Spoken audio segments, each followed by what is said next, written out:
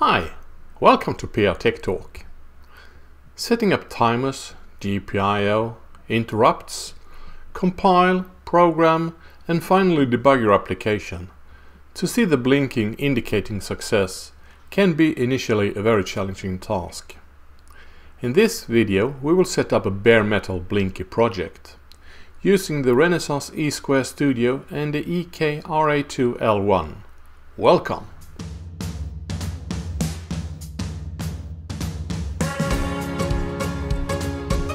Hi! In the first video we installed a free of charge development environment from Renesas, the E-Square Studio. And in the next video we also installed a complementary example project bundle and tested the Blinky project. In this video I will show how to make your own project. Set up the first timer GPIO and make the LED blinky and using a software delay loop in this uh, instance.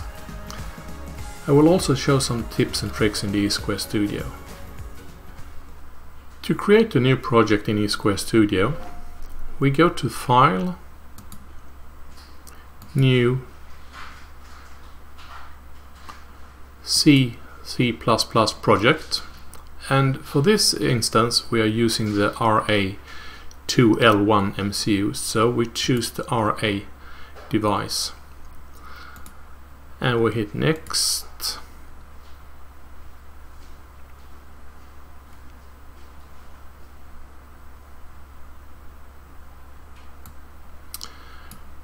we enter a project name.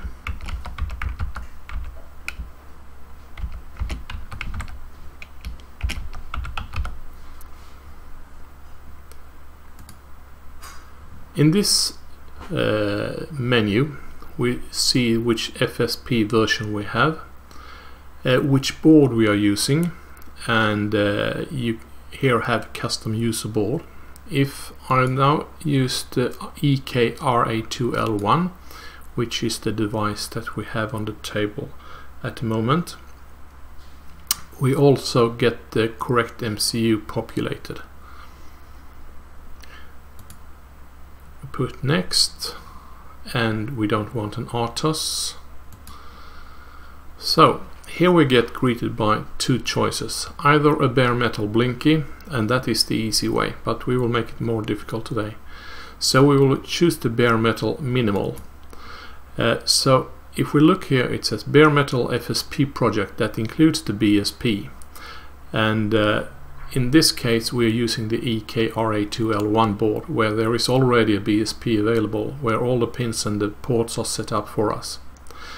And it says also this project will initialize clocks, pins, stacks and the C runtime environment, which is quite crucial to remember. So we hit finish again.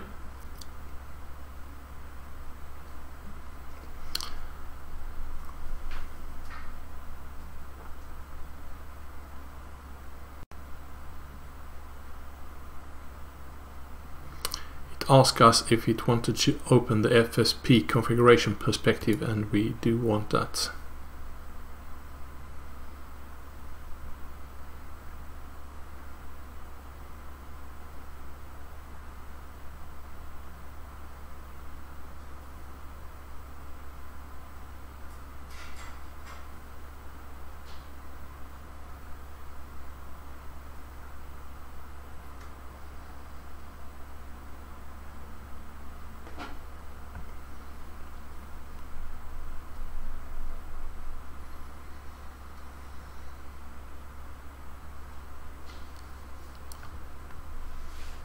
It took some time, uh, but now it's loaded and what we are greeted with here is the FSP configuration uh, menu where we see the device colored with all the pins already set up for us with the BSP for this uh, evaluation board, the EKRA2L1.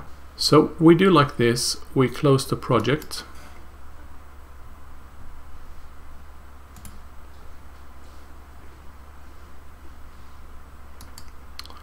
we highlight it again and I delete it and delete project contents on disk as well so there is no duplicate on it so we do it in once more new C project the Renesas RA, same as before.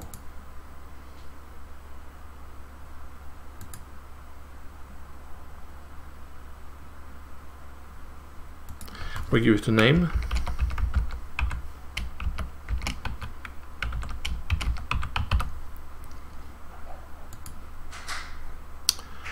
And we do like this once more and the reason for it because then we get the, the correct device. But I unselect it so we don't use the BSP for any board. We, we have uh, so we don't have any um, BSP configuration in it.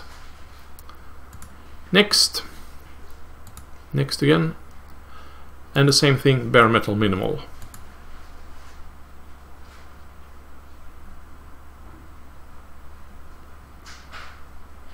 The difference we now will see with the MCU pin uh, uh, layout is that there is much less colors uh, because uh, there is no pins uh, occupied more than what is absolutely needed for the device.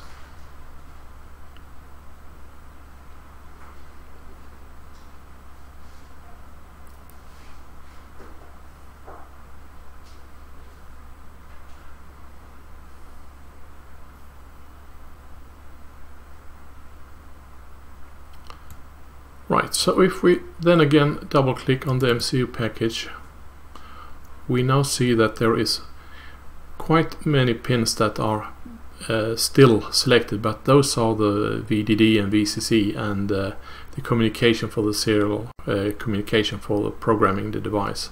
But all the GPIOs uh, and the LEDs, etc., they, they are not populated at the moment.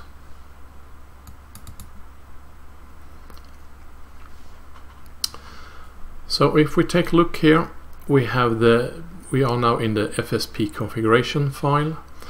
And we have here a tab tabs and where we look into the BSP and there is a custom user board because we don't have any inputs on, on where the LEDs are etc. So to start a new project uh, we need to first of all to have uh, some clock up and running and to do this we take a look at the schematics for the de device itself which I have here. So this is the EKRA2L1 so we scroll down. Here we have the regulator and here we have the user buttons which can be useful but not in this one because we only toggle a LED but the user LEDs, we can see that there are three of them here. And it's located on P505, 504 and 503. We will use the middle one, which is uh, port 504, and it's a green LED, also called LED2. But we were out for uh, the timing for the clock, how this how this board is set up. Here we have the JTAGs. And finally the, the clocks. So we can see here on the schematics that there are two external clocks uh, delivered on the boards. There is a 20 megahertz crystal and there is a 32 kilohertz crystal as well. However, they are not connected to device. Uh, we need to solder bridge these if we are going to use the 20 MHz crystal or the 32 MHz uh, 32 kilohertz crystal. So from the very beginning they are not connected. They are present at the board but they are not connected to the device. So uh, since I have not uh, soldered these uh, we need to use internal oscillators instead. So then we need to look into the what we have for timers and clocks. So I, I look into the data sheet. Uh, I have the data sheet here for the device and there are some clocks internal on it. So we have the main clock oscillator, the sub clock, the high speed, etc. And we are going to use the high speed on chip oscillator, also uh, called HOCO.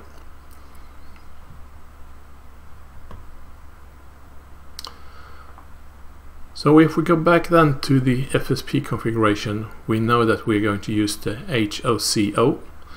So that one is selected here, clock source HOCO. If we select something else here, then we have the external clocks here. So the, there is an internal clock already set up for us on 48 megahertz. So the clock is already set up. That is good. The next thing to have an LED blinking, we need to have a port. And if we remember what we saw in the schematics, we had it on port 5 and we said that we are going to use the port 503 if I'm not incorrectly. 504 504 sorry.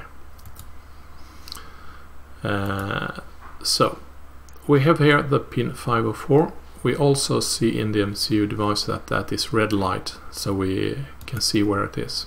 So we can get now that uh, a symbolic name and it's named in the schematics for LED2 so I think that is a good name. Uh, what mode do we want on it? Uh, currently from the very beginning it's disabled but we want to have it driving an LED and uh, the device was uh, so we need to have it as an initial low. Otherwise it will turn on immediately when we boot the device. And now the GPIO is set so it's initial low. And so it's already up here. So that is done. So we have everything set up. So now we need to generate this uh, setup these configurations that we made. So we hit the project generate project content. So that is done. We now can change to perspective to the C C++ and now we have a tab field up here where we can populate. We go to the source folder and there we have the HAL entry C. That is our main C file. If we double click on that one, it will open up here. There is a lot of initializations here and then we have also the comment add your own code here. So that is what we're going to do. We're going to have an LED blinking. So to make a small while one loop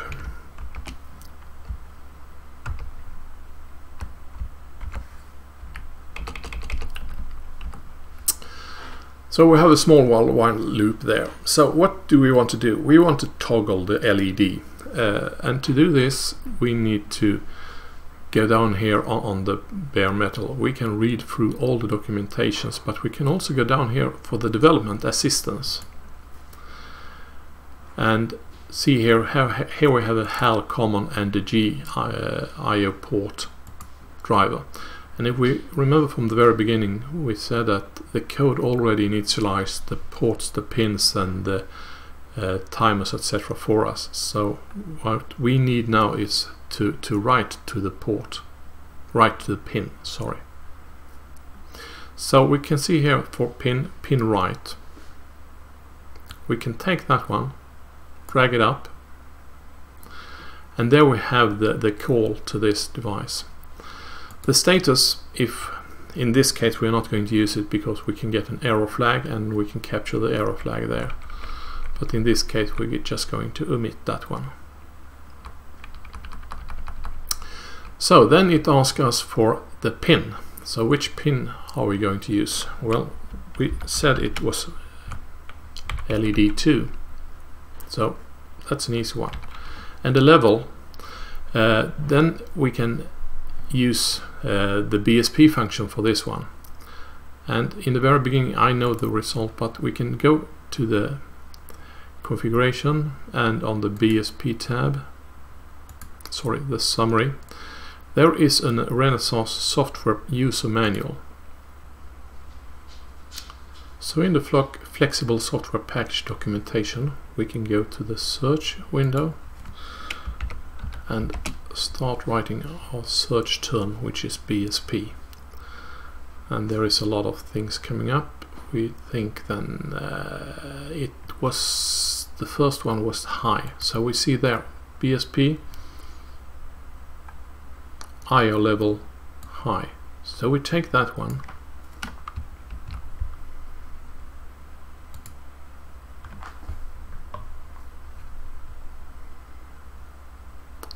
We put here instead.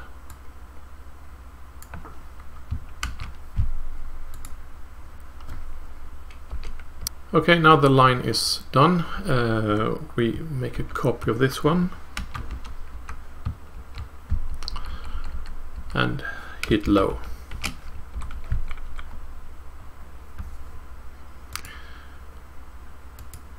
Now we need to have some delay and we don't need to make our delay loop ourselves. We can go back to the documentation again and there is a delay unit. If we hit that one it says that there is available soft R software R underscore BSP software delay.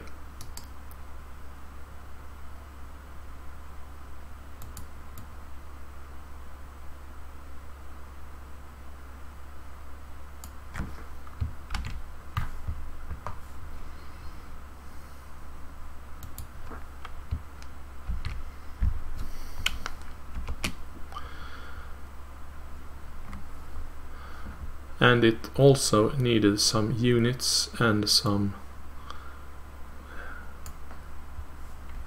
So we take milliseconds here. 500 milliseconds. That can be nice.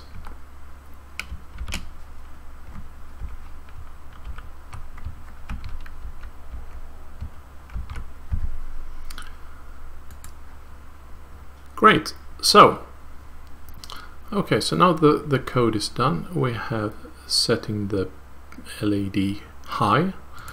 Uh, we wait 500 milliseconds. We put the pin low and we wait 500 milliseconds and then we loop back so we have a small blinky here. We build a project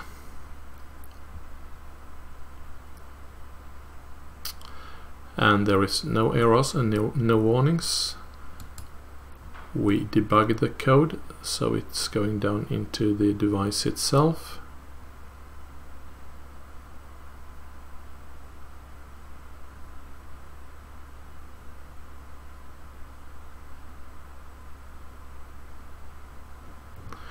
It's also now changing to the debug perspective.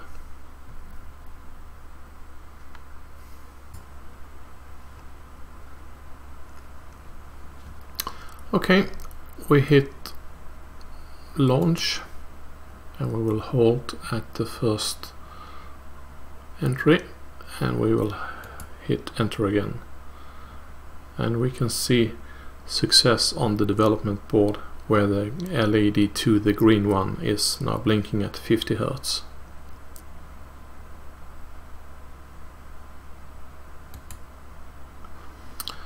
So that was building a bare metal project without any BSP for the device for the board itself but setting it up. It was a very simple project but I think it will give you some idea on how to set up instead of just taking a project from the very beginning and modify that one. Okay, see you in the next one. Uh, there we will use uh, some uh, interrupts and timers instead to generate the uh, blinky sequence instead of uh, having a small uh, software BSP delay time. See you in the next one. Have a nice one. Bye.